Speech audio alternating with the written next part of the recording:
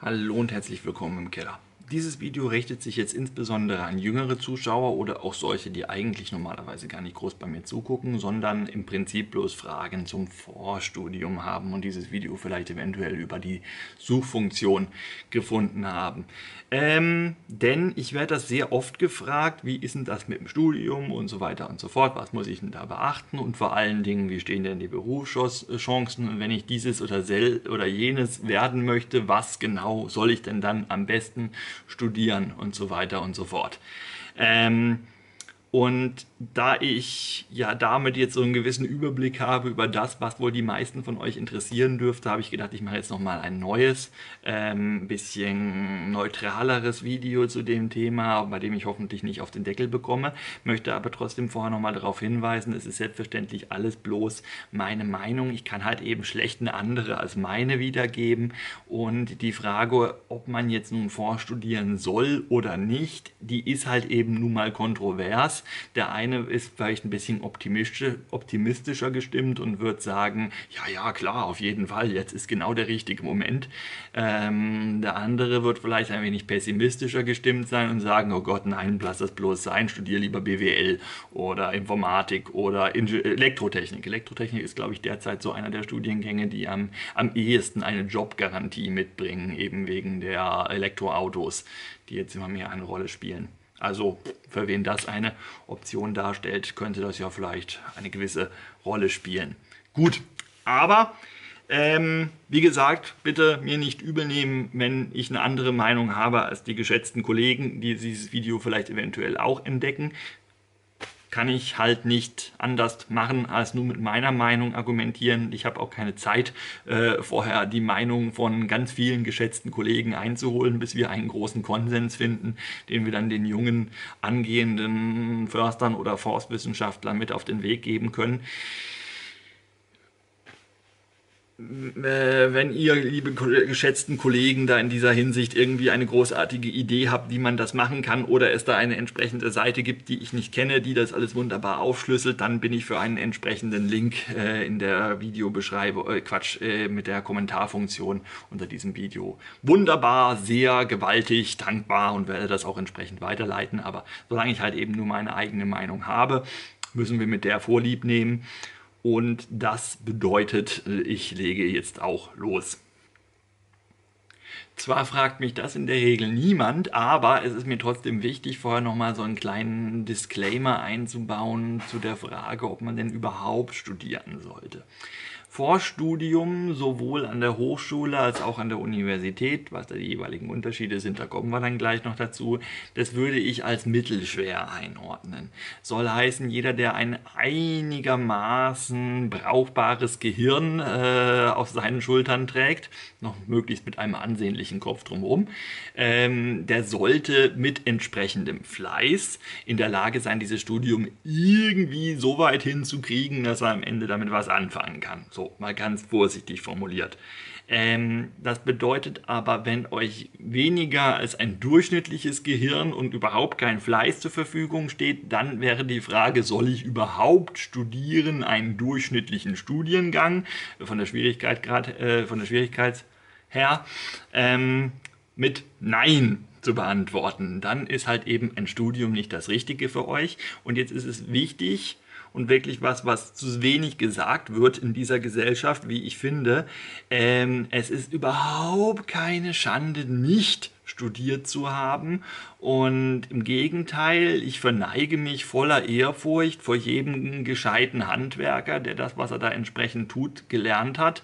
Und ähm, keine Ahnung, meinetwegen meine Spüle repariert, von der ich keinen Schimmer habe, wie die funktioniert. Ich bin da völlig ahnungslos und immer begeistert, was zum Beispiel der Kfz-Mechaniker äh, über mein Auto weiß, äh, von dem ich keine Ahnung habe, wenn ich das mal wieder in die Werkstatt bringe. Oder generell, also bei all solchen technischen Fragestellungen. Ich persönlich zum meinen, für meinen Teil habe da überhaupt keine Ahnung von. Ähm, in meinem Fall war es tatsächlich so, dass ich keinerlei andere Talente besitze und eigentlich ein Studium demzufolge die einzige Möglichkeit gewesen ist, ähm, mit den Sachen, die ich kann, nämlich so ein bisschen geistigen Krempel im gröberen Zusammenhang irgendwie was anfangen zu können. Also da eben körperliche, handwerkliche, geschicklichkeitsbedingte, feinmotorische und ähnliche Dinge völlig fehlen. Ne?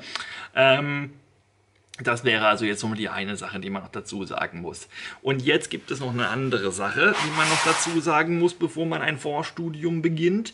Denn äh, viele forstliche Studiengänge sind zulassungsfrei. Heißt, man kann die studieren mit beliebigen Abi.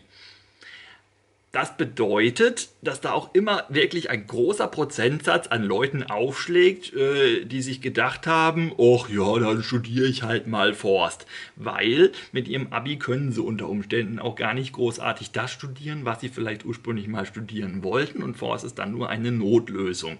Wenn euch also klar sein sollte, dass ihr nur überlegt, Forst zu studieren, weil ihr eine Notlösung braucht, dann lasst es sein, weil dann wird es auf jeden Fall nichts für euch sein ihr werdet relativ schnell da wieder rausfliegen und rausgeprüft werden, weil nur weil das Studium zulassungsfrei ist, ist es nicht einfach. Das ist auch so ein allgemein oft gemachter Fehler und eine falsche Annahme, dass äh, junge Menschen nach dem Abi eben denken, okay, die zulassungsbeschränkten Studien, die sind, äh, Studiengänge sind saumäßig schwierig und die, die zulassungsfrei sind, die sind ganz einfach. Das stimmt nicht. Das kann so sein, das muss aber wirklich überhaupt nicht. Ähm, es ist nur so, man braucht dann eine 1-0, um irgendwas zu studieren, was unglaublich beliebt ist. Sprich, Medizin wollen ganz, ganz, ganz, ganz, ganz, ganz viele Leute machen. Es gibt aber nur relativ wenig Stellen und deshalb ergibt sich dann eben so ein 1-0 Numerus Clausus, den man dann da haben muss. Dann nimmt man halt eben nur die Besten. Deswegen ist Medizin trotzdem nicht der allerschwerste Studiengang aller Zeiten. Es ist ein, auf jeden Fall ein schwerer, so gesehen ist es jetzt vielleicht ein bisschen ein blödes Beispiel, aber nehmen wir mal Psychologie. Da weiß ich von einer Psychologin, die ich kenne, ähm, dass äh, die auch mit einem ja, mittelprächtigen Abi und etwas Fleiß keine großen Schwierigkeiten hatte, diesen Studiengang zu meistern, ähm, obwohl da normalerweise eben jede Menge 1-0-Abiturientinnen und Abiturienten drin hocken, weil das halt auch wieder was Beliebtes ist, was jeder studieren will, es aber nur wenig Plätze gibt. Sie ist dadurch reingekommen, indem sie eben lang genug gewartet hat und vorher noch eine Ausbildung gemacht hatte. Ähm, also das nur mal so als anderes Beispiel. Und ja, also, fallt nicht darauf ein zu denken, Forst wäre super einfach, nur weil keine Zulassungsbeschränkung drauf ist. Und ähm, es ist generell einfach eine Verschwendung eurer Zeit, wenn ihr irgendwas studieren wollt, einfach nur weil ihr es könnt und euch nichts Besseres einfällt. Gerade im Forstsektor ist es wichtig, finde ich, ähm, eine gewisse Begeisterung für die Thematik mitzubringen. Sonst kann man es eigentlich auch sein lassen. Und ich würde auch so weit gehen, dass ich ganz ehrlich nichts mit Leuten zu tun haben möchte im Forstsektor, die den Wald gar nicht wirklich mögen. Die gibt es, die gibt es heute, die gibt es auch wahrscheinlich morgen noch und die wird es auch später wahrscheinlich immer noch geben, weil man wusste halt ums Verrecken nicht, was man denn jetzt nun tun soll mit seinem Leben und hat sich dann halt in Gottes Namen für ein Vorstudium entschieden und weil man keinen Bock hatte auf irgendeine Alternative, hat man es halt trotzdem durchgezogen ja, deswegen ist man dann kein schlechter Mensch und selbstverständlich sollte man dann versuchen, irgendwie das Beste daraus zu machen. Aber solltet ihr das halt vorher schon merken, dass es auf sowas möglicherweise hinauslaufen könnte, schön selbst reflektieren bitte, ähm, dann lasst es sein, studiert irgendwas anderes, was euch eher liegt oder studiert halt eben nicht. Also grundsätzlich, man kann es nicht oft genug sagen, äh, wir sind inzwischen ein Volk von jede Menge Häuptlinge und ganz, ganz wenigen Indianern geworden. Ein paar mehr Indianer auf dieser Welt würde überhaupt nichts schaden, weil die ganzen Häuptlinge sich untereinander dann auch wieder nur die Köpfe einschlagen und irgendwann keiner mehr eine Ahnung hat, wie man zum Geier eigentlich einen Schrank zusammenschrauben soll, selbst wenn der von Ikea ist. Also das so als allgemeines Statement vorneweg, wer entsprechende Begabungen hat ähm, im Bereich außerhalb der akademischen Weihe und all so einem Schwachsinn, was heutzutage wirklich auch mit ganz, ganz, ganz, ganz viel Vorsicht zu genießen ist und auch akademische Titel und ähnliches heutzutage auch durchaus nicht mehr, finde ich, so viel wert sind, wie sie es früher waren. Also sprich, wer jetzt alt ist und sich Professor schimpft, der tut das definitiv zu Recht. In den aller, aller, allermeisten Fällen, ich kenne zumindest keine Ausnahme, doch eine. Aber ähm, Wer heutzutage einen akademischen Abschluss macht, der kann unglaublich viel Ahnung von seinem Fachgebiet haben. Der kann aber auch unglaublich gut im Prüfungsschreiben gewesen sein, ohne irgendwas von seinem Fachgebiet letztendlich verstanden zu haben. Diese Option gibt es auch. Man kommt so durch das System, wenn man entsprechende Fähigkeiten in dieser Hinsicht besitzt. Daran kann das System jetzt derzeit gerade wenig ändern und diejenigen, die in dem System hocken und entsprechende Hochschullehrerinnen und Lehrer sind, äh, können daran auch nichts ändern. Das soll in keinster Weise also irgendwie ein Vorwurf an irgendeinem Studiengang, den es da draußen gibt, sein. Es ist höchstens ein Vorwurf am Bachelor-Master-System, also am Bologna-Prozess, in dem das ganze Zeug entstanden ist. Ähm, daran ist es definitiv ein Vorwurf, aber daran können wir auch kurzfristig nichts ändern und dieses Video Video ist ja nicht dafür gedacht, die, die komplette Hochschullandschaft zu reformieren und äh, daran rumzustänkern, was ich in meinem Leben schon viel getan habe und auch noch viel tun werde und vielleicht auch mal ein eigenes Video dazu machen werde. Aber jetzt nicht hier. So, wenn ihr euch das jetzt schon mal angehört habt, habt ihr jetzt eine gewisse Grundvoraussetzung für ein Studium allerdings schon mal mitgebracht, nämlich ihr könnt euch lange Monologe anhören. Es ist generell eine gute Eigenschaft, wenn man studieren möchte, dass man dazu in der Lage ist. So, ähm, jetzt starten wir also mal ein fiktives forstliches Studium. Wir sind jetzt ein, sagen wir mal, 19-jähriger, heutzutage ein 17-jähriger Mensch, der gerade sein Abitur hinter sich hat und jetzt eine großartige Karriere anstrebt. Solltet ihr tatsächlich ein wirklich 17-jähriger Mensch sein, dann macht verdammt nochmal irgendwas anderes, bevor ihr anfangt zu studieren. Macht ein freiwilliges soziales Jahr, ein freiwilliges ökologisches Jahr, einen Bundesfreiwilligendienst, geht irgendwo ins Ausland zu irgendeinem, was weiß ich was, Auslandsdienst ähm, macht ein Jahr Work and Travel in Australien oder Neuseeland, wo eh jeder Depp hingeht. Ihr könnt auch mal theoretisch in ein anderes Land hingehen, wo nicht jeder Depp hingeht. Wie wäre es denn mal mit einem osteuropäischen Land zum Beispiel? Das wäre doch mal auch eine ganz gute Alternative, ist auch relativ günstig. Ähm, oder geht gerne wegen mir auch zur Bundeswehr. Ich kann da eigentlich nicht berichten, dass mir das irgendwas was geschadet hat. War eigentlich eine ganz coole Zeit rückwirkend. Ähm, auch das durchaus eine Option. Aber das wäre nochmal ein wesentlicher Hinweis, den ich wirklich nur jedem wärmstens ans Herz legen kann, der ein sehr junger Mensch ist und jetzt ein Abitur hat und jetzt möglicherweise studieren will. Macht noch was vorher. Macht auch gerne zwei Jahre noch was vorher. Sammelt Lebenserfahrung. An den Hochschulen kriegt ihr zwar auch welche, aber nicht diejenige, die euer Arbeitgeber dann hinterher von euch erwartet. Also das ist wirklich was wert. Da lernt man richtig, richtig, richtig was fürs Leben und auf die zwei Jahre kommt es auch nicht an. Gerade im Bereich vom Forst ist es nicht so wichtig wie vielleicht im BWL zum Beispiel oder in keine Ahnung welchem Bereich, dass man unglaublich jung ist, wenn man seinen Abschluss macht. Da wird wirklich im Forstbereich noch eher ein Auge zugedrückt als irgendwo anders. Und ich habe noch von keinem großen äh, wichtigen Menschen, der für Personaleinstellungen in forstlichen Berufen zuständig ist, gehört, dass er Wert darauf legt, dass seine Bewerber unglaublich jung sind.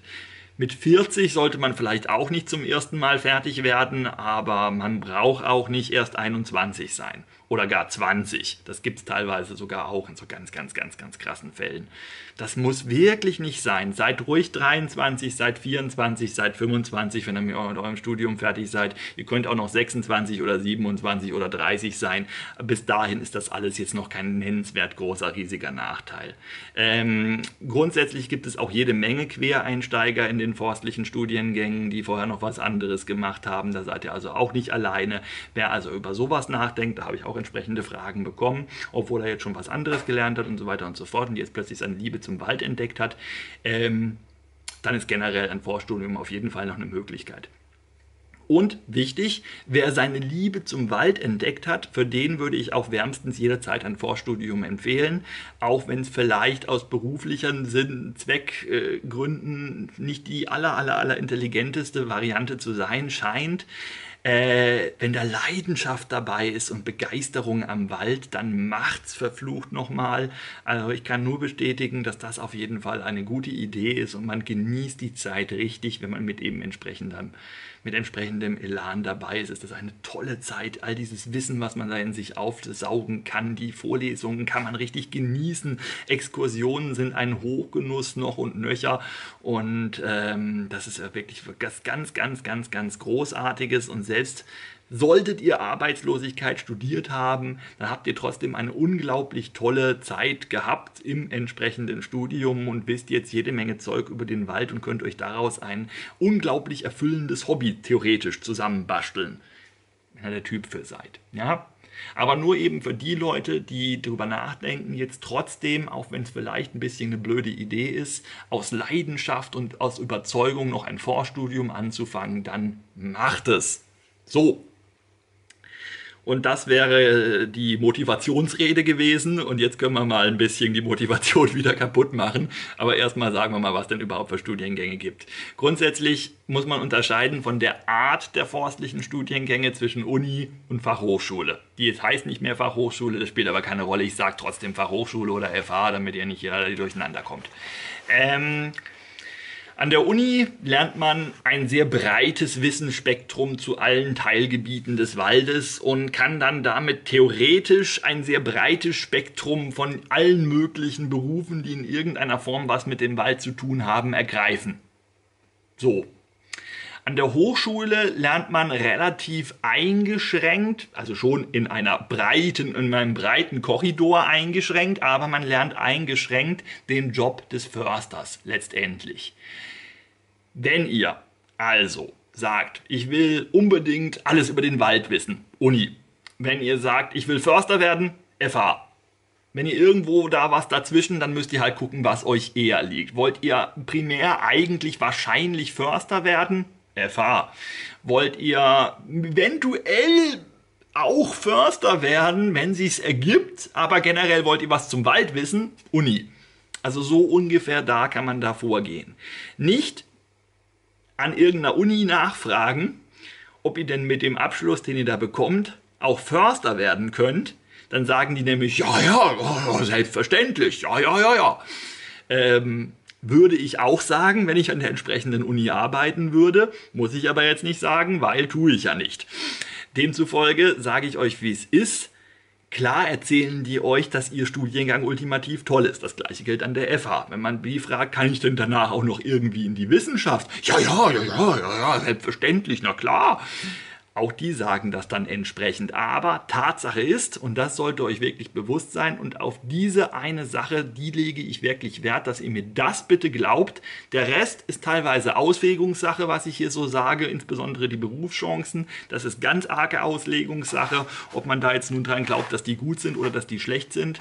Aber eine Sache ist wirklich Tatsache, und da habe ich wirklich jahrelang den Erstsemestern immer das erzählt, wenn sie mal wieder falscherweise bei uns angekommen sind an der Uni und eigentlich Förster werden wollten, dass sie dann doch noch mal bitte drüber zur FH wechseln sollen, ähm, sofern sie das noch irgendwie hinkriegen. Und die haben es letztendlich auch tatsächlich alle irgendwann mal gemacht und alle haben sie es nicht bereut und waren an der Uni eben nicht glücklich, wenn sie von vornherein schon wussten, dass sie einfach nur Förster werden wollen. Noch ein Punkt, weshalb man nicht an die Uni gehen sollte, wäre, wenn man nicht Theorie, Theorie mag. Universitätsstudiengänge sind immer theorielastig. Das liegt in der Natur der Sache. Es gibt immer jede Menge grundsätzliche Hintergrundinformationen, die man für die Praxis, wenn man einfach nur im Wald Bäume umsägen und verkaufen möchte, äh, nicht braucht. Die sind vielleicht hilfreich zu wissen, so nice to know mäßig, aber auf keinen Fall unbedingt notwendig. Was man an der Uni aber weniger bekommt als an der FH, ist eben ganz praxisorientierte Tipps. Wie entscheidest du, ob du Baum A oder Baum B absägst? An der Uni kriegt man dafür einen langen, langen, langen Vortrag und jede Menge Formeln und Mechanismen, wie man durch entsprechend empirische Untersuchungen herausfinden kann, welcher Baum letztendlich derjenige ist, der auch ökonomisch, ökologischer Sicht am sinnvollsten umzusägen ist. Das dauert dann gefühlt eine Stunde, bis man sich für einen Baum entschieden hat. Ein guter FH-Förster, der dann auch entsprechend draußen im Wald arbeiten sollte, weil er da nämlich keine Zeit hat, solche Untersuchungen anzustellen, der geht hin, sieht Bäume und weiß sofort, bam, der muss weg und hat recht was ich da schon teilweise erlebt habe äh, von entsprechenden Förstern im Gelände, wo ich dann da gestanden bin und mir Gedanken gemacht habe und Gedanken gemacht. Und dann kommt der Chef und rennt da durch, quasi wie Jesus über das Wasser, durch das Gehölz und zack, zack, zack, zack und wählt da sämtliche Bäume aus und ist in gefühlten zehn Minuten fertig und ich double, mache den nächsten Hektar und brauche dafür gefühlte drei Stunden. Die Zeitangaben sind jetzt willkürlich. Aber für einen Hektar als, als blutiger Anfänger, also äh, als, als, als Theoretiker, der Praxiserfahrung wenig bis keine besitzt, da ist drei Stunden gar kein so unrealistischer Wert. Während halt, wie gesagt, der Profi, der macht dir einen Hektar in nicht zehn Minuten, aber locker in einer Stunde. Wenn es ein guter ist. Aber es kommt natürlich auch immer noch mal auf den Einzelfall an und so weiter und so fort. Aber das halt einfach nur mal so als kleines Beispiel. Ne? Der richtig gute, praxisorientierte Förster, der draußen einen super Job macht, den gibt's an der FH. Denjenigen, der alles über den Wald weiß und jede erdenkliche Frage beantworten kann, sofern es diesen Typen überhaupt gibt, dann gibt's ihn an der Uni. Ähm, das sind so die wesentlichen Unterschiede. Ansonsten muss man jetzt noch sagen, dass wir uns ja in einem Bachelor-Master-System befinden und logischerweise müsst ihr mit einem Bachelor anfangen, bevor ihr einen Master machen könnt. Wenn ihr ohnehin vorhabt, lange zu studieren und gerne einen Masterabschluss hättet und vielleicht auch darüber nachdenkt, noch einen Doktor zu machen, dann müsst ihr unbedingt an die Uni. Wenn ihr vielleicht noch einen Master machen wollt, dann ist es nicht so wichtig, wo ihr hingeht, weil man kann auch mit dem FH-Abschluss sich auf einen Uni-Master bewerben. Das geht. Allerdings müsstet ihr dann einen guten FH-Abschluss haben, um bei einem Uni-Master zugelassen zu werden. Wenn ihr euch grundsätzlich nicht sicher seid, ob ihr mit dem Studium nicht vielleicht eventuell Probleme habt, aber gerne trotzdem auch einen Master machen würdet, dann seid ihr wieder an der Uni besser aufgehoben, weil ähm, solltet ihr den Bachelor verhunzen, weil ihr gerade Liebeskummer habt oder äh, Durchfall bei den Prüfungen oder was auch immer, dann habt ihr nämlich immer noch die Möglichkeit, äh, dass ihr mit einem verhunzten Bachelor den konsekutiven Master eurer Uni studieren könnt. Heißt, das ist der Master, der auf eurem Bachelor aufbaut. Und auch generell wäre das was, was ich ähm, empfehlen würde, den konsekutiven Master zu seinem jeweiligen Bachelor zu machen. Zwar gibt das System die Möglichkeit her, dass man da wild durcheinander würfelt, irgendeinen ganz, ganz anderen Bachelor mit einem ganz, ganz anderen Master kombiniert, da dann auch genommen wird und den dann auch studieren darf, aber daraus resultiert ein riesiger Berg an Arbeit, weil man eben die Inhalte, die in dem jeweiligen Master besprochen werden, in seinem entsprechenden Bachelor unter Umständen noch nie gehört hat und ein gewisses Grundwissen dieser Inhalte aber in einem Master normalerweise vorausgesetzt wird. Deswegen, wenn ihr nicht unglaublich toll seid, dann könnt ihr das natürlich tun. Aber wenn ihr es nicht seid, dann lasst das sein und bleibt am besten gleich bei der einen Hochschule, bei der, für die ihr euch am Anfang entschieden habt, wenn ihr noch einen Master machen wollt. Ein Wechsel der Hochschule zwischendurch. Das, wie gesagt, man kann das machen, aber das ist mit großer Vorsicht zu genießen. Es machen auch nur ungefähr ein Drittel aller derjenigen, die dann noch einen Master machen, dass sie sich wirklich woanders hin äh, bewerben und den Standort wechseln. So und nachdem ich jetzt eine etwas längere Pause habe einlegen müssen, kann ich jetzt auch noch den Rest auch noch erzählen. Und zwar wollte ich mal so einen kleinen Überblick geben über mögliche Fächer, ähm, die es denn in einem Vorstudium da so geben kann. Das variiert natürlich von Hochschule zu Hochschule und von Uni zu Uni, äh, zum Teil durchaus ordentlich, aber potenziell mögliche Fächer, die es halt eben so gibt, deutschlandweit ähm, oder zumindest mal gab. Ich lege dies in der Hand nicht dafür ins Feuer, dass das alles noch hundertprozentig aktuell ist, sind ähm, zunächst mal naturwissenschaftliche Grundlagen. Dazu gehört leider ein wenig Mathematik. Da hatte ich ja persönlich meine Schwierigkeiten ähm, damit, wobei da ein deutlicher Trend zu erkennen ist, dass es deutlich weniger Mathe in forstlichen Studiengängen gibt, wie das früher der Fall gewesen ist. Teilweise gibt es auch gar kein klassisches Mathematik. Ähm, höhere Mathematik heißt der Kurs dann meistens, gibt es zum Teil gar nicht mehr, stattdessen dann nur noch ein wenig Statistik. Ein bisschen Statistik muss man in jedem Fall beherrschen, das muss man auch an der FH so ein wenig können, weil irgendwelche statistischen Zusammenhänge erkennen und auch darstellen können, ist halt eben nun mal wichtig für jeden, der irgendwie studiert hat.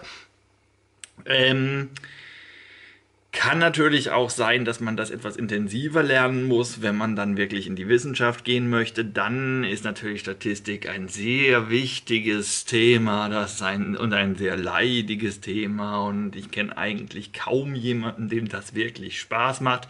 Aber ja, das auf jeden Fall zum mathematischen Teil. Sofern es noch... Ähm, normale Mathevorlesungen gibt, dann braucht man die für sein weiteres Leben im Forstbereich wirklich nur ganz, ganz, ganz, ganz, ganz minimal bis überhaupt nicht. Also wenn ihr Mathe mies seid, ist das jetzt kein Grund, ähm, sich jetzt unbedingt vom Vorstudium fernhalten zu wollen.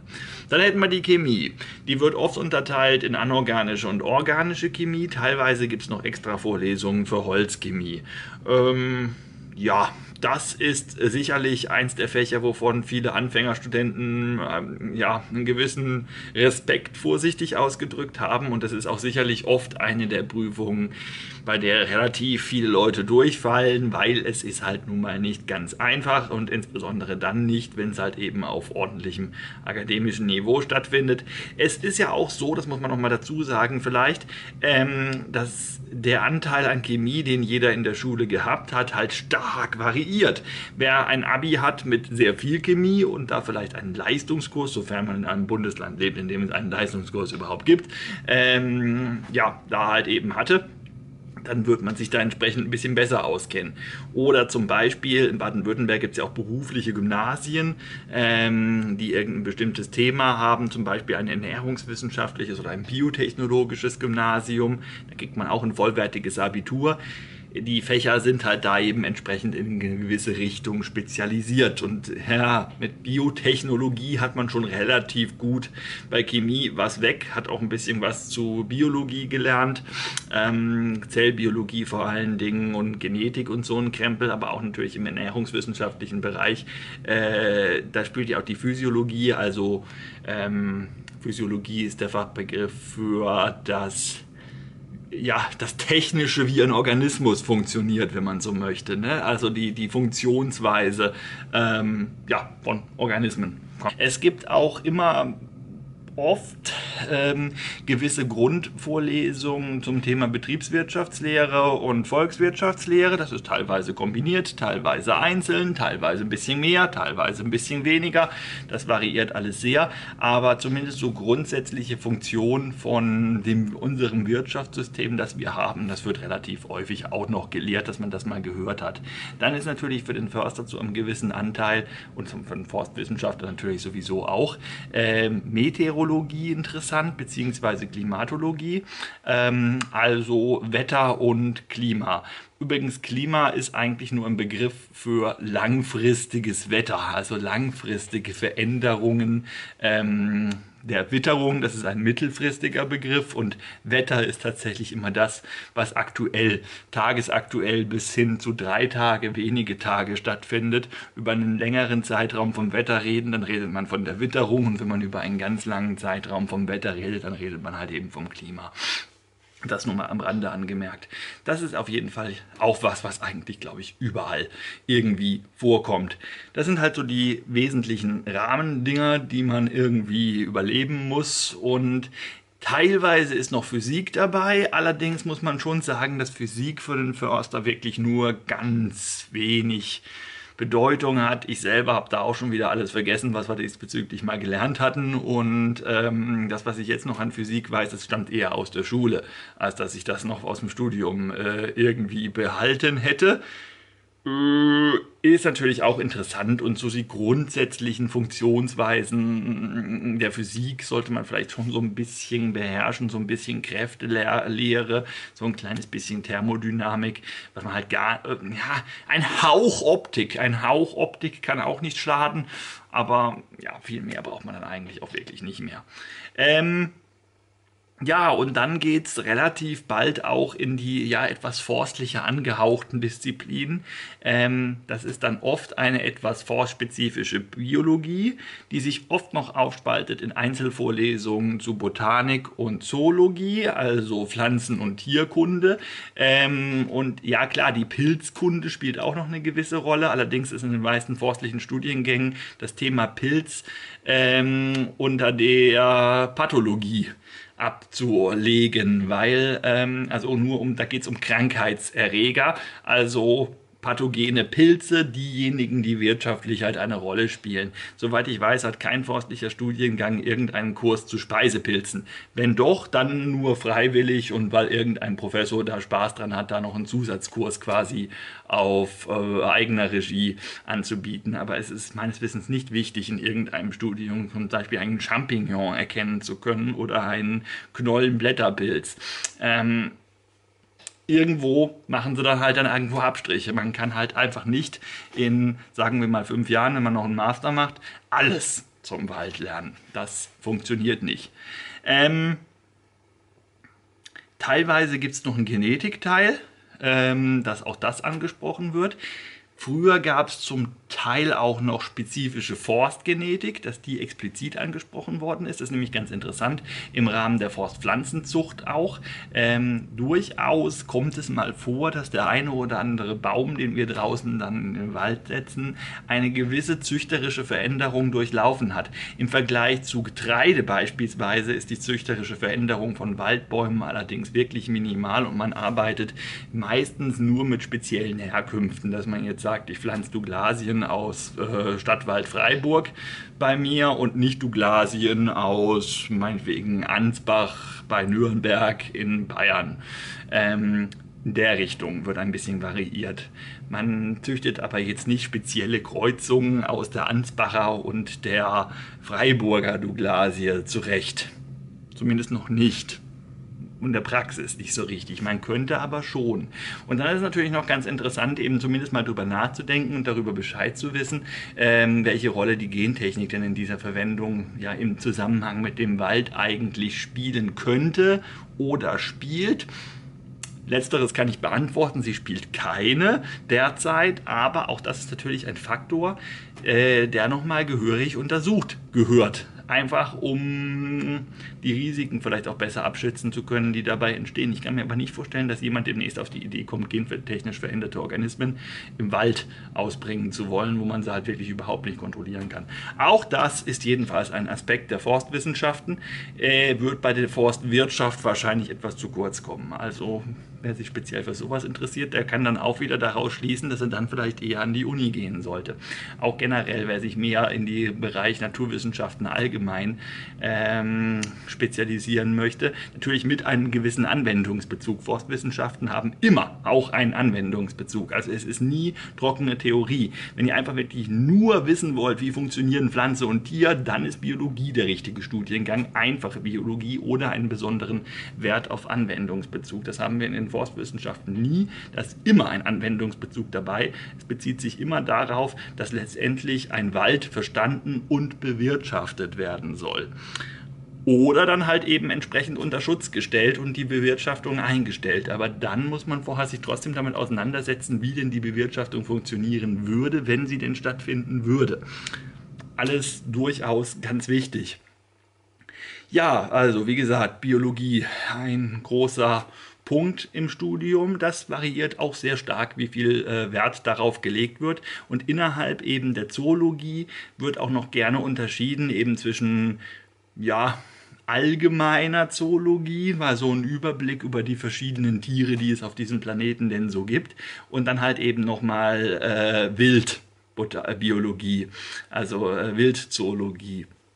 Wildtierkunde, wie auch immer das jeweilige Fach dann in der entsprechenden Hochschule dann heißt. Das ist sicherlich natürlich auch nochmal wichtig für den Förster, weil er mit den Wildtieren doch nochmal erheblich mehr zu tun haben wird als der Forstwissenschaftler. Also da sind wir an der FA dann wieder in dem Bereich, wo wir auf jeden Fall mehr zu Wildtieren zu hören kriegen, als es an der Uni der Fall sein könnte, wird. In der Regel. Immer nur so ganz grob, wie gesagt. Ähm, Käfer spielen eine Rolle, teilweise auch wieder in Verbindung mit der Pathologie-Vorlesung, dass man nur Käfer kennenlernt, die für den Wald eine Rolle spielen im Sinne von, die sind schädlich, zum Beispiel der allseits beliebte Borkenkäfer, äh, der Ips typhographus, der sich da so gerne in die Fichten reinbohrt und die dann relativ schnell als Skelett zurücklässt. Ähm, dann haben wir einen ganz, ganz, ganz, ganz wichtigen Faktor, der in so ziemlich jedem forstlichen Studium meiner Meinung nach deutlich zu kurz kommt. Man kann sich in dem Bereich dann oft freiwillig selber noch ein bisschen weiterbilden, aber also in zusätzlichen Kursen, die man belegen kann, aber nicht muss. Aber trotzdem ist es auf jeden Fall ganz wichtig, erstmal so die Grundlagen der Bodenkunde gelernt zu haben. Ähm, gibt sowohl an der FA als auch an der Uni. An der Uni nochmal teilweise sehr viel ausführlicher. Ähm, einfach damit man weiß, worin, worein man seinen Baum eigentlich pflanzt. Ohne einen vernünftigen Boden wächst nämlich keine Pflanze dieses Planetens. Die Grundlage von allem, was man irgendwie an Pflanzenmaterial anbauen kann, ist erstmal ein Boden. Das ist also einfach unendlich wichtig und ohne vernünftige Böden auf diesem Planeten könnten wir als Mensch auch überhaupt nicht überleben und schon gar nicht in der Stückzahl, wie wir jetzt gerade auf dem Planeten rumkräuchen. Man darf also eins auf keinen Fall tun, den Stellenwert der Bodenkunde unterschätzen. Die ist nach der Photosynthese wahrscheinlich so das äh, Wichtigste, womit man sich auskennen möchte, wenn man generell wissen will, wie geht das eigentlich, dass eine Pflanze wächst aber persönliche Meinung. Ja, dann kommen wir aber auch irgendwann zu den vorspezifischen Fächern. Es ist oft eine kleine bis zu große Vorlesungen, die man dann auch teilweise wieder individuell auswählen kann. Im Bereich der Forstinformatik dabei, das beschäftigt sich dann auch oft mit sogenannter Fernerkundung, also irgendwelche Informationsbeschaffungen aus, aus Satellitenbildern, Luftbildern, also einem Foto, das vom Flugzeug aus aufgenommen wurde. Heutzutage wird jetzt langsam wahrscheinlich auch irgendwelche Drohnenfernerkundungen eine Rolle spielen. Ich kenne mich da leider überhaupt nicht aus und gehe nur davon aus, dass das wahrscheinlich irgendwann eine Rolle spielt spielen wird. Und sogenannte geografische Informationssysteme, GIS, äh, braucht eigentlich jeder Förster zumindest mal so ganz grob oberflächlich, dass er mal wenigstens so ein bisschen weiß, wie man damit umgeht. Gibt viele tolle Möglichkeiten, was man damit machen kann. Ähm, auf dem GPS quasi einzelne Holzpolter, also daliegendes Holz entsprechend gleich verorten, entsprechend gleich die Daten mit irgendwelchen Datenbanken abgleichen. Am besten alles direkt im Wald mit dem Smartphone online, damit das sofort alles verbucht wird und jeder immer genau weiß, wo hat er welches Holz rumliegen, rumstehen oder ist es schon auf dem LKW oder schon im Sägewerk angekommen, dass da einfach eine möglichst hohe Transparenz herrscht. Das spielt in der forstlichen Logistik, ein weiteres Fach, was man auf jeden Fall immer haben wird, eine ganz, ganz große Rolle. Das wirkt so ein bisschen zusammen. Auch wichtig ist selbstverständlich, damit man überhaupt erstmal irgendwo Holz hat, das man fällen kann, die Waldwachstumskunde und äh, die Waldinventur. Ähm, letztere ist wahrscheinlich häufiger in den wissenschaftlichen Studiengängen als in den normalen anzutreffen und auch die Waldwachstumskunde lässt sich auf einige wenige Grundregeln doch ganz gut runterbrechen, die man im Wald auch wirklich anwenden muss. Man kann das aber auch im theoretischen Bereich dann natürlich auch wieder mit einem gewissen wissenschaftlichen, äh, mit einer gewissen wissenschaftlichen Ausrichtung an den Unis sehr intensiv betreiben. Da geht es halt einfach darum, ähm, die mathematischen Zusammenhänge, wie ein Baum wächst, welche Wachsgeschwindigkeiten denn so ein Wald haben kann, welche Funktionen da eine Rolle spielen und vor allen Dingen Stichwort die Modellierung des Waldwachstums. Dass man also versucht, aufgrund dessen, dass man so ungefähr weiß, wie das Waldwachstum funktioniert, ähm, neuerdings auch wirklich sehr gerne mit Computerprogrammen grafische digitale Wälder quasi hochwachsen zu lassen mit Daten aus der Realität, um eine möglichst gute Prognose zu bekommen, wenn ich jetzt diese oder jene Entscheidung fälle für diese oder jene Baumart, die ich in der und der Zahl da jetzt hinpflanze oder die und die Zahl von Bäumen, die ich da jetzt umsäge, wie wird sich mein Wald voraussichtlich in 30, 40, 50, 60 Jahren entwickeln? Und das kann man dann halt eben in diesen Modellen wunderbar rauskriegen. Und das wäre jetzt also ein aktueller Ansatz, wo die Waldwachstumskunde sehr fleißig fleißig dabei ist, ähm, Modelle zu erstellen. Generell ist das eine wesentliche Aufgabe von eben solchen ja, halt wachstumskundlichen Prozessen, Daten aus der Realität in Modelle übersetzen, die man dann wieder praktisch anwenden kann. Und hier liegt auch ein guter Unterschied, um zu beschreiben, wo wieder der Unterschied zwischen der Uni und der FH ist, weil die Uni entwickelt solche Modelle, die FH, die wendet sie nur an. Dabei wird es nicht so sehr darum gehen, wie man jetzt da drauf gekommen ist, wie diese Formel, die man jetzt zum Beispiel anwenden kann, um äh, das Volumen eines Baumes zu bestimmen, eigentlich ursprünglich mal ermittelt worden ist. An der Uni spielt das sehr wohl eine Rolle und damit kann man wunderbar Studenten quälen, inklusive mich. Und ich bin gerade überrascht, dass ich jetzt momentan gerade im Kopf so ratter, ratter, ratter, ratter mich da an einen ganzen Haufen Zeug erinnere, was ich jetzt potenziell alles erzählen könnte und muss jetzt mit zusammenreißen, das nicht zu tun. Überraschend. Habe nicht gedacht, dass ich da noch was von weiß. Hm. Ähm, ja, dann ein weiteres sehr wichtiges, großes Fach, was es auch überall geben wird. Es ist fast schon so das Kernfach für die FAler. Ähm, und ja, ein wichtiges, aber auch nur eins von vielen eben an der Uni, der Waldbau. Also wie bewirtschaftet man, ja, wie arbeitet man denn im Wald, was macht man denn mit den Bäumen, um dann einen entsprechenden Bestand zu erzielen, den man dann im Endeffekt möglichst gewinnbringend verkaufen kann. Und zum Waldbau gehören zum Teil dazu Holzerntemethoden, äh, teilweise sind es auch einzelne Vorlesungen, dass man also eben den Aufbau des Waldes bis hin zu dem Punkt, wo er geerntet wird, im Waldbau behandelt und die eigentliche Holzernte in einem eigentlichen Fach. Letztere schafft sich dann befestigt. Letztere beschäftigt sich dann natürlich entsprechend mit Logistik ähm, der Holzernte, dann natürlich auch den dazu Einsatz kommenden großen, schweren Maschinen. Teilweise lernt man auch das Rückgefährt kennen, ob das denn jetzt nun eine Alternative im großen Maßstab sein kann oder nicht. Man setzt sich auch mit ganz, ganz alternativen Rückeverfahren, also Rücken heißt immer Holz von A nach B, ähm, aus dem Wald dahin, wo es abgefahren werden kann, ins Sägewerk ähm, bringen und zum Beispiel die Helikopterbringung, dass das Ding wirklich, äh, ein einzelner Stamm wirklich am Heli unten festgemacht wird, der ein Kabel runterlässt und der fliegt raus. Auch sowas ist was, womit man sich im Rahmen eines Logistikstudiums äh, Forstlogistik, Holzernte und Logistik, da gibt es verschiedene Namen für die entsprechende Vorlesung eben, auseinandersetzen muss. Auch ein sehr spannendes Feld, für manche Leute so das Nonplusultra und der Hauptgrund, weshalb sie ihr Studium eigentlich überhaupt so machen, wie sie es machen. Ähm, für mich persönlich habe ich immer gedacht, das wäre scheiße langweilig, habe dann aber doch stellenweise feststellen müssen, dass das doch durchaus richtig spannendes Thema sein kann, wenn man sich da mal ein bisschen intensiver mit auseinandergesetzt hat und es auch in Verbindung mit eben den naturwissenschaftlichen und ökologischen Kriterien Kriterien irgendwie ja, die Verbindung herstellt. Und vielleicht noch an dieser Stelle noch den kleinen, die kleine Ergänzung. Es ist generell grundsätzlich der tollste Moment im Studium, wie ich finde, wenn man eben das begreift, dass alles miteinander zusammenhängt und diese ganzen Verbindungen von erstmal relativ unterschiedlich klingenden Fachbereichen zu ganz anderen Fachbereichen da das erkennt. Wenn man also sich erstmal Gedanken machen kann, okay, wenn ich mit dem Harvester in den Wald reinfahre und ich säge da Bäume um, was für Aus Auswirkungen hat das denn, abgesehen davon, dass ich da Bäume umsäge und der Harvester vielleicht jetzt nur 16 Euro pro Maschinenarbeitsstunde kostet, ähm, weil er wunderbar ausgelastet ist, solche ökonomischen Überlegungen. Aber gleichzeitig kann man sich halt Gedanken machen, was stellt das mit dem Boden an, wo der Harvester drauf rumfährt? Wie könnte man das unter Umständen noch verbessern? Welche Auswirkungen könnte das auf ein rein biologisches Thema wie eben die intraspezifische Kommunikation der einzelnen Baumarten untereinander haben. Und was bedeutet das dann wiederum für den Mykorrhiza, für das Mykorrhiza-Netzwerk im Boden und generell den Stoffhaushalt im Wald? Was hat das für Auswirkungen auf die nachhaltige Nutzung? Auch oft ein Kurs, der diesen Namen trägt, ist gelegentlich dann noch dabei. dabei.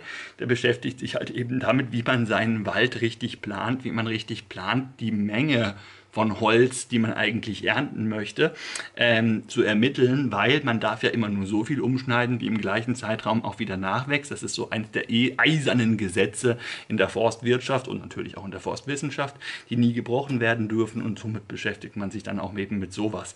Generell ist Nachhaltigkeit ein ganz, ganz wichtiges Thema in jedem Forststudium, denn äh, wer hat es erfunden? Die Förster. Streng genommen war es eigentlich ein Berghauptmann von Freiberg äh, in Sachsen, ja. Ähm, Hans Karl von Karlowitz heißt der gute Mann. Der hat diesen Begriff ja wirklich nur mal ganz nebensächlich in einem sehr, sehr, sehr, sehr dicken Buch, wo er sich eben mit der wilden Baumzucht beschäftigt, ähm, mal eben in einem Nebensatz auf Seite 100 noch was. Ein einziges Mal hat er geschrieben, damit es eine nachhaltende Nutzung gäbe. Und daher aus irgendwelchen Gründen hat man diesen Begriff da rausgenommen und ihn jetzt weltweit eben äh, bekannt gemacht. Im Englischen heißt das Sustainability, glaube ich. Ja, doch. Und ähm, beziehungsweise Sustainable äh, Development ist so ein Begriff, der ganz, ganz oft auch im internationalen Zusammenhang verwendet wird. Und da steckt die Nachhaltigkeit natürlich auch drin, dass man eben eine Entwicklung vorantreiben möchte, die anders als man das bisher gemacht hat. Ähm, versucht, verantwortungsvoll mit den Ressourcen umzugehen und eben weg von der Ausbeutung, wie es halt eben in der Menschheitsgeschichte bisher so üblich war.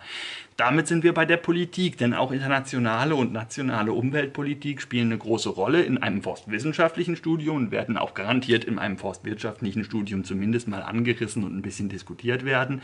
Da muss man sich schon ein bisschen auskennen, weil man ja auch immer eine gewisse Öffentlichkeitsarbeit betreiben muss, sei man jetzt nun Förster oder eben entsprechend Wissenschaftler, wobei man sagen muss, der Förster hat wahrscheinlich mehr mit der Öffentlichkeit zu tun als ein Forstwissenschaftler, der in seinem Elfenbeinturm hockt und da irgendwie forscht und niemand, äh, jemand, irgendeinen anderen Menschen, der nicht Wissenschaftler ist, zu sehen bekommt. Gefühlt. Kann so ablaufen und das ist noch nicht mal übertrieben, solche äh, Fälle gibt es tatsächlich. Ähm, ja, also wie gesagt, die Forstpolitik auch ein großer, wesentlicher Faktor. Äh, Jagd und Waffenhandhabung und solche Sachen sind an der FA erheblich ausgeprägter als an den Universitäten zu finden. Da gibt es das auch, aber teilweise sind es auch nur Wahlfächer, die man gar nicht belegen muss. Ähm, ich habe ja selber eben den, den jagdlichen Krempel bis auf die Theorie äh, und die ganzen Hintergründe, die ökologischen Hintergründe der Jagd und so weiter. Den praktischen Teil, wie man jagt, den habe ich jetzt persönlich für mich gänzlich ausgeblendet. Davon habe ich bekennend keine Ahnung. An der FH müsste man sowas dann noch dazu lernen. Ja, dann gibt es noch so wichtige Fächer wie Waldpädagogik, die man belegen kann, die aber ganz oft halt eben keine Pflicht sind. Wenn man also eben jetzt weiter Wissen zum Wald vermitteln möchte, dann kann man das da lernen kann man auch sein lassen und intuitiv so machen, wie man das für richtig hält, so wie ich. Ich habe nur einmal einen ganz kleinen Grundkurs zur Waldpädagogik gehabt, habe dann festgestellt, das ist mir alles zu viel Ringelpiez mit anfassen. Ich mache das lieber auf meine eigene Art und Weise und versuche halt dann eben Begeisterung durch Begeisterung weiterzugeben, in der Hoffnung, dass das besser funktioniert als irgendwelche super toll die dadurch dachten didaktischen Methoden, bla bla blub. Habe ich in der Schule schon nicht gemocht, wenn da irgendjemand daherkam und irgendwie äh, irgendwelche unglaublich tollen, durchdachten Unterrichtseinheiten irgendwie vorstellen wollte, wo man dann ganz toll mitmachen. Das war mir einfach immer zu blöd. Am besten gelernt habe ich, wenn da vorne ein Lehrer stand, dem ich geglaubt habe, dass er Ahnung hat und der hat mir was erzählt und dazu noch ein paar bunte Bildchen gezeigt und noch ein bisschen was an die Tafel geschrieben, aber größtenteils halt einfach was erzählt, das erklärt, Frontalunterricht, das was heutzutage keiner mehr haben will und was ja also furchtbar schrecklich gilt, das war für mich eigentlich immer das Beste. Ähm, dementsprechend sind meine Videos das in der Regel auch genau das eigentlich letztendlich. Naja, aber ich schweife schon wieder ab. Ähm, ja, die jagdlichen Geschichten. Äh, Wichtig ist selbstverständlich auch noch die Vegetationskunde, also die Wissenschaft, äh, von der die Hälfte dieses Bücherregals hier handelt, ähm, spielt für Förster auch eine große Rolle, weil man anhand äh, von Pflanzensozio der pflanzensoziologischen Methode und der gerade vorherrschenden Pflanzengesellschaft ganz wunderbar ablesen kann, welche Baumart kann ich denn hier jetzt immer pflanzen, die garantiert hier auch wirklich gedeihen wird. Das sieht man zum Beispiel daran, dass am Boden irgendwo so eine völlig unscheinbare Pflanze wie die weiße Heimse Simse rumsteht, weil wenn das der Fall ist, dann kann man sich schon mal relativ sicher sein, dass das hier auf jeden Fall ursprünglich ein Buchenwald wäre. Also hier jetzt eine Buche hinzupflanzen, die hätte sehr gute Chancen, dann auch zu einem entsprechend großen, alten, ähm, stabilen Waldbestand zu werden. Natürlich nicht aus einer Buche, aber mit mehreren würde das dann funktionieren. Im Bereich BWL gibt es übrigens auch noch spezialisierte Forst-BWL, die sich gerade eben mit Kalkulationen, ja, mit wirtschaftlichen Kalkulationen über extrem lange Zeiträume auseinandersetzt. Gibt so auch in keinem anderen Wirtschaftsbereich, dass man irgendwelche, ja, Gewinn- und Verlustrechnungen und was, was da alles gibt, das habe ich jetzt größtenteils vergessen. Aber sowas berechnet man ja normalerweise übers Kalenderjahr, vielleicht mal über zwei, drei Geschäftsjahre, dass man da irgendwie versucht, irgendwelche Prognosen hinzukriegen. Man denkt im Forst generell nur in Jahrzehnten, in Jahren rechnet da man wirklich nur auf ganz kleiner Ebene so ein bisschen rum, aber wirklich denken tut man immer in Jahrzehnten. Und im Hinterkopf behalten und langfristig planen muss man über Jahrhunderte oder zumindest 80 oder 60 Jahre. 60 ist noch so das kürzeste, was man an Umtriebszeiten im normalen Wald eigentlich erreichen kann, in denen man halt dann eben auch äh, wirtschaftlich rechnen muss. Ähm, ist ein historisch sehr interessantes Fach auch äh, die Forst-BWL. hm, doch spannender, als man denkt. Das klingt jetzt erstmal langweilig, aber wenn man da einen guten Professor hat, den ich hatte, habe ich zuerst gedacht, hätte ich nicht, habe ich dann aber im Laufe des Studiums gelernt, dass ich doch einen hatte und äh, je mehr ich das begriffen habe, desto mehr Spaß hat mir das gemacht und inzwischen ich würde mich gerade nochmal in die Vorlesung hocken wollen. Jetzt mit dem entsprechenden Hintergrundwissen, dass das alles Sinn macht, was der Mann erzählt. Man muss ihm nur erstmal ein paar Jahre lang zuhören und dann, dann kriegt man den großen Zusammenhang und dann gibt es wirklich richtig Sinn. Auch so ein Moment, wo man sich dann im Studium denken kann, oh, jetzt macht das alles total Sinn, jetzt ist das alles ganz, ganz, ganz, ganz toll. Also wie gesagt, an sich, Vorstudium, großartig, kann ich nicht oft genug sagen, wenn man den entsprechenden Hang dazu hat und einem das, was ich hier jetzt so ganz grob mal umreiße, tatsächlich irgendwie interessant vorkommt. Forstgeschichte spielt zum Teil noch eine Rolle. Es ist oft nur noch ein ganz kleines Fach. Ähm, ich persönlich finde es ja extrem wichtig und auch extrem spannend, aber ja, wie gesagt, es, es ist halt auch jetzt wirklich nicht so unglaublich komplex und relevant, dass man sich da jahrelang mit auseinandersetzen müsste. Kann man natürlich, muss man aber wirklich nicht. Das muss ich ja leider zugeben.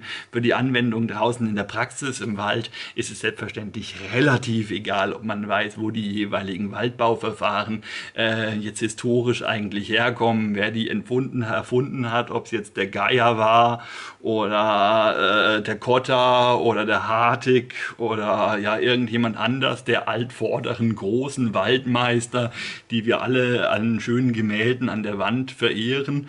Ähm, wenn man in Taran studieren möchte, also an der TU Dresden, dann gibt es auch je, ja, fast jedes Gebäude, in dem irgendwelche Uni-Aktivitäten stattfinden, hat den Namen irgendeines berühmten Forstwissenschaftlers aus Tarant.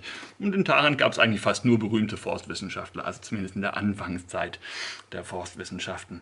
Ach ja, ich komme in Schwärmen. Ähm, ja, zu den Fächern soll es das gewesen sein. Ich habe mit Sicherheit noch einzelne Aspekte vergessen, aber das ist ja auch nicht unbedingt notwendig, dass ich jetzt alles aufzähle. Es ist ja schon jetzt ein ewig langer Monolog zu diesem Thema gewesen. So, jetzt nochmal der Hinweis, wenn ihr mir bis hierhin immer noch aufmerksam habt folgen können, liebe junge Zuschauer, äh, dann habt ihr schon mal eine gewisse Eignung für ein Studium durchaus unter Beweis gestellt, weil langen Monologen einer langsam vor sich hin quatschenden Person, ähm, teilweise auch wirklich ohne besonders aufregende Bilder im Hintergrund, das muss man halt eben abkönnen und im Idealfall mag man das sogar. Wenn man das so richtig mag und damit richtig gut arbeiten kann und das als Spaß empfindet, sich sowas zu geben, dann ist man, glaube ich, auch eher an der Uni als an der FH richtig aufgehoben. Es sei denn, man möchte einfach Förster, auf jeden Fall Förster werden. Dann halt wieder eben an die FH, wobei man dann potenziell halt eben auch noch die Eignung für die Uni haben kann. Das gibt es selbstverständlich auch, das habe ich vielleicht noch vergessen zu erwähnen, dass man im Prinzip für beides geeignet wäre und dann muss man sich halt für sich selber eben entscheiden, was man machen möchte. Vielleicht ist das auch ein Fall, wo man vielleicht an der Uni doch erstmal besser aufgehoben ist und dann tatsächlich einer dieser ganz wenigen ist, die aus dem Unistudium raus trotzdem den klassischen Förster machen wollen und das dann auch hinkriegen mit entsprechenden ja, Qualifikationen, wenn ihr euer Unistudium entsprechend auslegt und dann halt einfach unglaublich gute Noten habt, dann kann auch euch auch, äh, euch auch das gelingen. Und damit sind wir dann beim Punkt Berufschancen. Da ist es jetzt schon so, dass man nicht sicher sein kann, wenn man ein forstliches Studium beginnt, dass man dann damit am Ende auch einen forstlichen Job haben wird. Das wäre einfach gelogen, wenn man sagt, ja klar, das ist überhaupt kein Problem, das schafft jeder. Das stimmt nicht. Das schafft nicht jeder. Das kann durchaus mal in die Hose gehen. Ich weiß natürlich keine genauen Zahlen. Ich würde aber fast behaupten, dass so ungefähr ein Drittel bis die Hälfte der Absolventen nicht da landen, wo sie ursprünglich vielleicht mal davon geträumt haben, hinzukommen. Es mögen vielleicht sogar zwei Drittel sein, die letztendlich nicht dahin kommen, wo sie wirklich super gern hingewollt hätten, wenn wir das als Maßstab nehmen. Aber so genau kann man es nicht sagen. Und grundsätzlich gilt, das ist ganz, ganz wichtig, das sollte man sich auch immer vergewissern, die besten zehn aus einem Jahrgang, so ungefähr, die haben die Jobgarantie. Die kommen mit Sicherheit irgendwo unter, es sei denn, es sind Vollhorste bei der Bewerbung.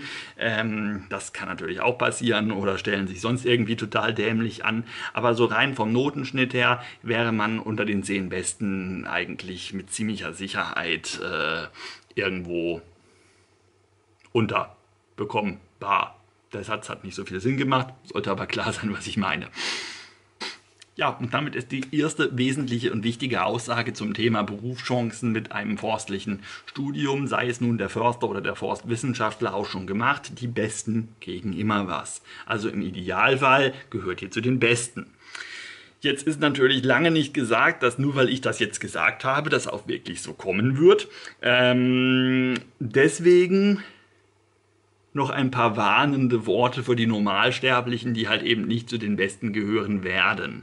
Für euch ist es natürlich jetzt relevant, wieso die Chancen für einen durchschnittlichen Absolventen eines, also ein bisschen überdurchschnittlich bis ein bisschen unterdurchschnittlich, so irgendwo dieser, dieses, dieses, dieser Spektrum, ähm, wie da die Berufschancen denn stehen, erstmal Förster werden, also der FH-Bereich. Da muss man sagen, Ihr habt da Förster gelernt. Es gibt außer dem klassischen Försterberuf nicht so unglaublich viele andere Verwendungsmöglichkeiten. Auf dem Papier, ja, auf dem Papier könnt ihr so ziemlich jeden Umweltberuf machen, ganz viele äh, Berufe, die irgendwie im entferntesten was mit Wald zu tun haben. Auf dem Papier könnt ihr euch da überall drauf bewerben.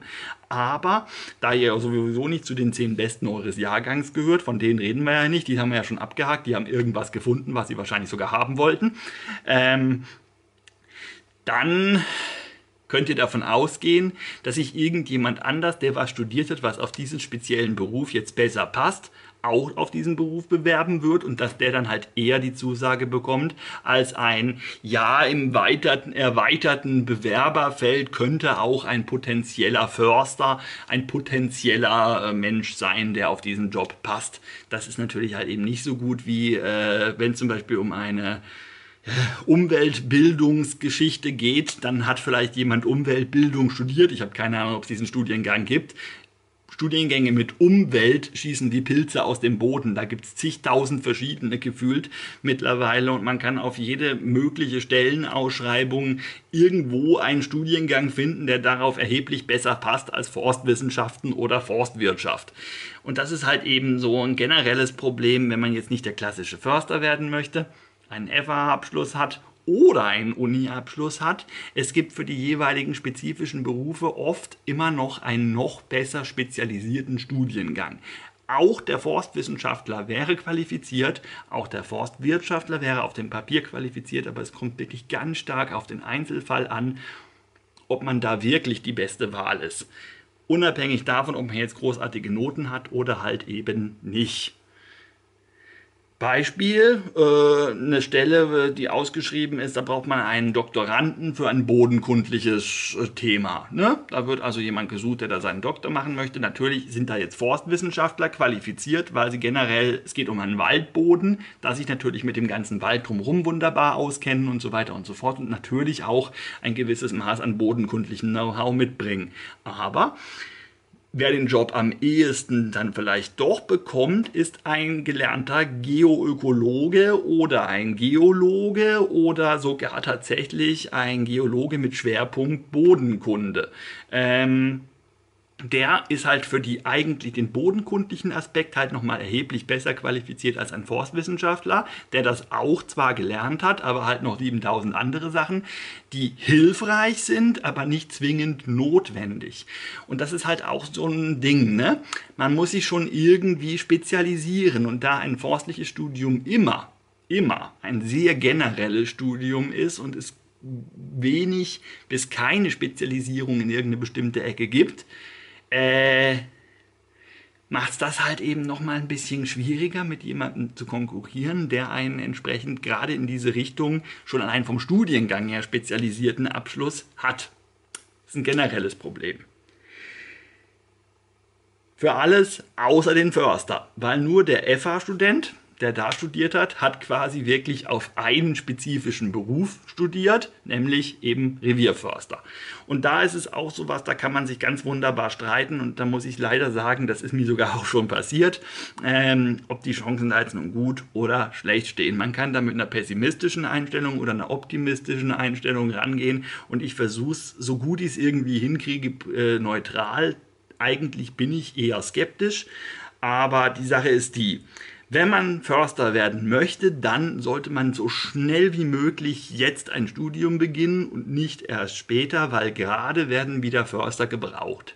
Das liegt daran, dass ähm, die aktuelle Förstergeneration, die gerade so im Wald rumspringt, die sind alle mehr oder weniger gleich alt. Es ist alles diese Babyboomer-Generation ähm, und das heißt, die gehen jetzt auch alle mehr oder weniger gleichzeitig in Pension soll heißen, es werden schlagartig jede Menge Försterstellen frei.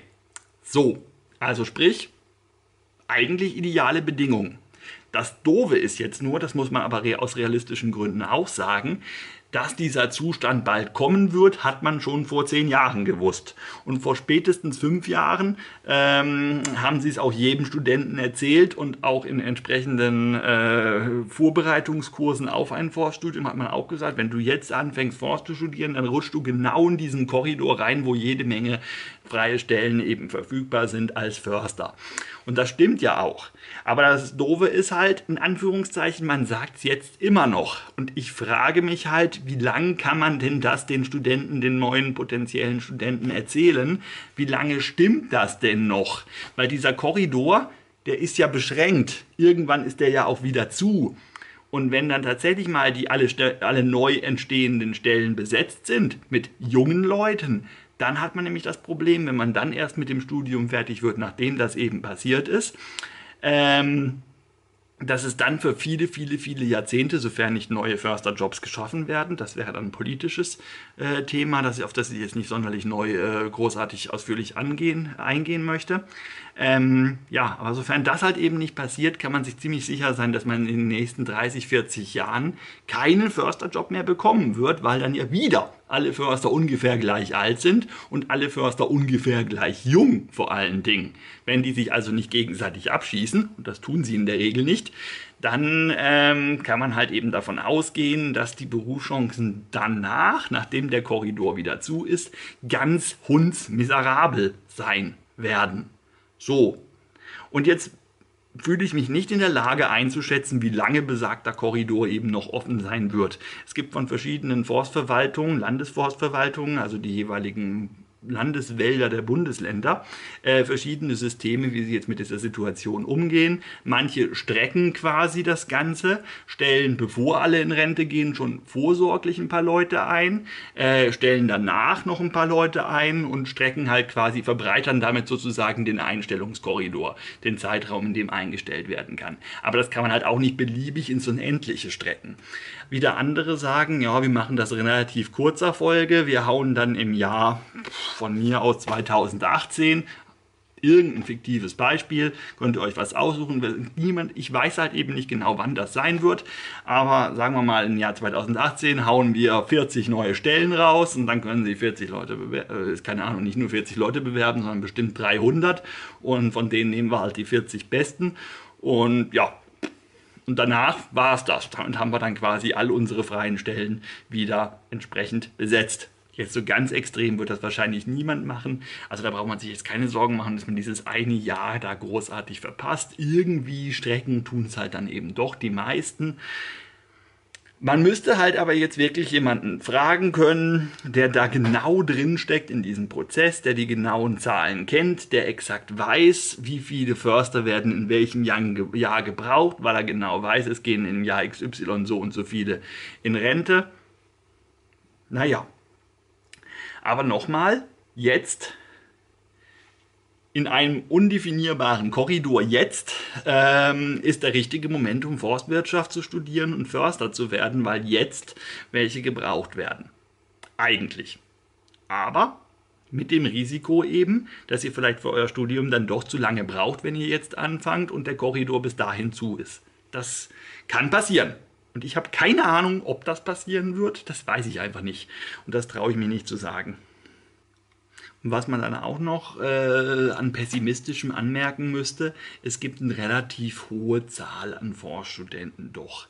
Man glaubt immer, da studieren ja nicht so viele, aber doch, es sind schon einige. Es war in den letzten Jahren eigentlich fast immer so, dass es äh, in den jeweiligen Uni-Studiengängen zumindest, ich kann zu den FAG, weiß ich es nicht, das kann ich einfach nicht sagen, aber es werden auch nicht so ganz wenig gewesen sein. Aber in den Uni-Studiengängen haben an fast allen Universitäten jedes Jahr so ungefähr 100 Leute angefangen. Es waren mal ein bisschen mehr, es waren mal ein bisschen weniger, aber da es äh, 1, 2, 3, 4 äh, forstliche Universitäten gibt, sind das schon mal 400, mindestens äh, eben 400 Uni-Erstsemester ähm, pro Jahr und dazu kommen dann halt nochmal eine Dunkelziffer von sicherlich auch auf jeden Fall nochmal 300. Ähm, ich glaube, irgendwo habe ich auch mal gehört, es werden so um die 1000, die pro Jahr irgendwie ein Vorstudium anfangen. So ganz über alles gerechnet. Also so 700 bis 1000, sagen wir jetzt einfach mal Erstsemester im Forstbereich, gibt es jedes Jahr deutschlandweit. Ähm, davon werden vielleicht die Hälfte fertig vielleicht auch nur 40 Prozent. Das hängt auch so ein bisschen davon ab, wo man jeweils guckt und das variiert alles sehr stark. Aber jetzt gehen wir mal davon aus, äh, wir hätten einen super tollen Jahrgang, wo wirklich die Hälfte das durchzieht und fertig wird und zumindest mal einen Bachelor macht und damit halt eben für den Försterposten qualifiziert wäre. Im Jahr haben wir ganz bestimmt keine 500 offenen Försterstellen. Mit Sicherheit nicht mal ansatzweise. Das mögen vielleicht in einem großen Bundesland wie Bayern in einem richtig guten Jahr vielleicht mal 30 freie Stellen sein.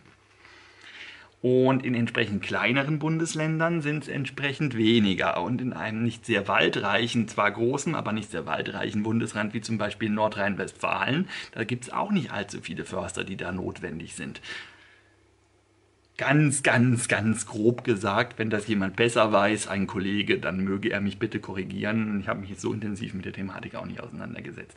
Aber dann könnt ihr euch einfach eben selber ausrechnen, wie da, selbst wenn jetzt vergleichsweise viele Förster gebraucht werden, eure Chancen stehen, wenn ihr einer von, na, lass es 400 Absolventen sein, die sich auf maximal vielleicht 60, 70 Stellen im Jahr bewerben. Und dazu kommen ja noch Leute aus dem Vorjahr, die sich auch, die da nichts gefunden haben und sich dann auch auf diese 60, 70 Stellen bewerben. Man kann also durchaus davon ausgehen, dass man vielleicht auf eine offene Forsterstelle, wenn sich jemand auch wirklich auf jede offene Försterstelle bewirbt, dass da 1000 Bewerbungen pro äh, Stelle einfliegen werden. Und ja, die Leute, die schon länger nach einem Job suchen, haben in der Zwischenzeit vielleicht schon Berufserfahrung anderer Art gesammelt. Das ist ein wesentlicher Plus, den ihr als frisch von der Uni kommender Absolvent eben nicht habt. Vielleicht hat jemand die Zeit genutzt und hat noch zusätzlich eine Ausbildung zum Forstwirt gemacht. Jemand, der gleichzeitig Förster und Forstwirt ist, ist eine extrem wertvolle Arbeitskraft für den Wald, weil der kennt beide Seiten der Medaille und so jemand, ja, der hat euch was voraus. Ähm, sind so Sachen, die man da halt eben bedenken muss. Und ich will damit halt einfach nur ganz vorsichtig warnen, dass man nicht davon ausgehen braucht, dass man eine 70-prozentige Chance hat, sobald man ein Vorstudium beginnt, dann am Ende Förster zu werden. So hoch ist es mit Sicherheit nicht. Und 50 Prozent sind es wahrscheinlich auch nicht. Und zu weiteren Zahlen lasse ich mich jetzt halt eben nicht hinreißen. Man kann das eh alles nur spekulieren. So, dann kommen wir mal zu den Forstwissenschaftlern. Im forstwissenschaftlichen Bereich gibt es das Problem, dass ein Forststudium ja ein unglaublich breites Spektrum an möglichen Fachgebieten eben abdeckt. Und damit haben wir auch ein unglaublich breites Spektrum potenzieller Berufe, auf die wir uns bewerben können. Aber ich habe es ja schon erwähnt, darauf gibt es dann auch oft einen Spezialisten, der nichts anderes gelernt hat als halt eben genau diesen Beruf der da halt dann eben besser geeignet ist als jemand, der noch, der hier so ein Bläschen hat, mit dem er für diesen Job qualifiziert wäre, aber noch so viel Zeug drumherum, was er eigentlich nicht unbedingt bräuchte, mit dem er also aus Sicht desjenigen, der diesen spezifischen imaginären Job anbietet, ähm, Schwachsinn ist. Unnötige Zeitverschwendung quasi. Das ist so generell das große Problem des Forstwissenschaftlers. Deswegen sollte man auf jeden Fall versuchen, sobald man in einem Punkt des Studiums angekommen ist, so ab dem vierten Semester in der Regel, äh, ab dem fünften Semester, also nach dem vierten Semester im fünften Semester, so rum war das jetzt gemeint, äh, dass man da dann anfängt, sich möglichst in irgendeine Richtung, in die man später auch arbeitstechnisch gehen will, zu spezialisieren. Weil sonst ist man der alles ein bisschen könnende Allrounder und damit für nur einen einzigen Job qualifiziert, weil es gibt nämlich genau eine Sache, bei der es hilfreich ist, von allem was zu wissen, Waldpädagogik. Also anderen Leuten was zum Wald erzählen. Da ist das die Qualifikation. Da hat man am besten wirklich von allem mal was gehört und kann zu allem was sagen. Jeder andere Job erfordert eine Spezialisierung. Das ist zumindest jetzt so meine Erfahrung mit der ganzen Thematik. Ja, und welche Jobs gibt es für Uni-Absolventen? Äh, die, die tatsächlich ein bisschen häufiger sind, in dem ganz, ganz, ganz, ganz breiten und unglaublich diversen Spektrum, sind Wissenschaft. Das ist ja immer so, wenn man ein wissenschaftliches Studium absolviert hat, kann man damit logischerweise in die Wissenschaft gehen. Hm? Das machen auch durchaus eine gewisse Zahl von Leuten. Dann bietet sich an, mit einem Masterabschluss dann, aber den braucht man dann auch, äh, in den höheren Forstdienst zu gehen. Also der Chef vom FA-Förster quasi zu werden und einen ganzen Forstbetrieb zu leiten. Oder sowas in der Richtung. Irgendeine andere forstliche Untersuchungs-, äh, zum Beispiel in irgendeiner leitenden Position leiten, irgendein Forstunternehmen leiten. Ähm, ich fasse es einfach als eine leitende Position in der Forstwirtschaft zusammen. Oft ist damit noch verbunden, dass man eine zusätzliche Ausbildung machen muss, die sich Referendariat nennt. Die braucht man, um dann wirklich in den Staatsdienst gehen zu können und wird dann aber auch, wenn man das dann schafft, und dann hat man wieder einen Prozentsatz von so ungefähr 10 Prozent, dass man da dann wirklich übernommen wird. Äh, teilweise auch weniger als 10 Prozent, das hängt immer so vom jeweiligen Jahr ab. Äh, ja, aber wenn man das dann mal schafft, was nochmal zwei Jahre eben dauert, dann wird man auch Beamter. Ja, und dann hat man ausgedient. Aber dass das halt eben klappt, das ist so ein gewisses Maß an Lotto, es sei denn, man ist genial. Also diejenigen, die wir jetzt vorhin schon ausgeschlossen haben, weil sie ohnehin die zehn Besten sind ihres jeweiligen Jahrgangs, für die ist dann auch eben sowas durchaus eine Option, darüber nachzudenken, weil sie ja genial sind. Ähm, Naturschutz ist auch nochmal ein großes und ein weites Feld, aber in diesem großen und weiten Feld werden auch relativ viele Forstwissenschaftler ähm, eingestellt und benötigt. Ich bin ja der festen Überzeugung, dass noch erheblich mehr benötigt würden als eingestellt werden. Aber ähm, ja, da hat mich niemand nach meiner Meinung gefragt äh, und schon gar nicht irgendjemand, der dafür die entsprechenden Gelder bereitstellen könnte, zum Beispiel die Bundesregierung oder ähnliches. Boah, das wäre aber cool, so Berater im Bundestag. Darf man da eigentlich einen Hut aufhaben, wenn man da was erzählt? Hm. ähm, ja, ja, ja. Also das ist auf jeden Fall auch nochmal so ein Faktor, eben der große Kanon des Naturschutzes. Da muss man aber auch wieder sagen, es gibt, wie ich es eben auch schon erwähnt habe, gefühlte 6 Milliarden Naturschutzstudiengänge, die auf solche Posten dann ähnlich gut wie ein Forstwissenschaftler qualifiziert werden, bis hin noch zu noch besser qualifiziert. Und ohnehin im Naturschutz, das wollen ganz, ganz viele machen, ganz viele idealistische Gestalten, die das wirklich auch nur für einen Apfel und ein Ei machen. Man verdient da generell nie gut. Ähm, also man kann immer davon leben, aber verglichen damit, was man in, mit der gleichen Zeit an Studium im BWL-Sektor verdient, ist das lächerlich, was der Naturschutz zahlt. Ähm, ja, na, also das ist auch nicht einfach, da unterzukommen. Da gibt es also auch wirklich ganz, ganz, ganz, ganz unglaublich viele Bewerbungen auf jede freie Stelle.